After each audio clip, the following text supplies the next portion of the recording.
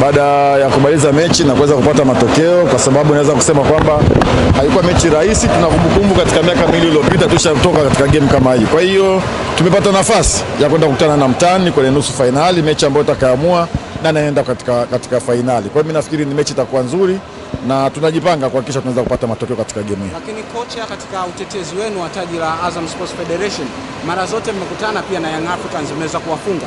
Labda hii inawezekana ikawapa nafasi ama hali ya kujiamini kuelekea mchezo huo.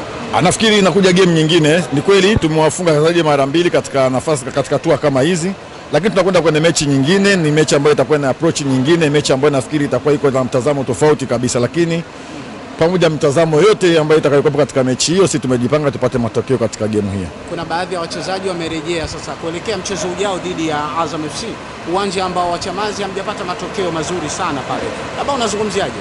E, nafikiri kwanza tume, tuna furaha kwa baadhi ya wachezaji kwa kurudi baada ya kuwa na injuries za muda mrefu na wachezaji wengi zaidi.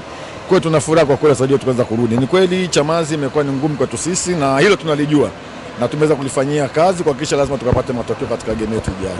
Mchezo mchezo wenu wa nusu fainali unachezeka katika mkoa wa Mwanza. Viwanja vya mkoani vimekuwa ni tatizo sana. Kwa upande wenu mmejipangaje?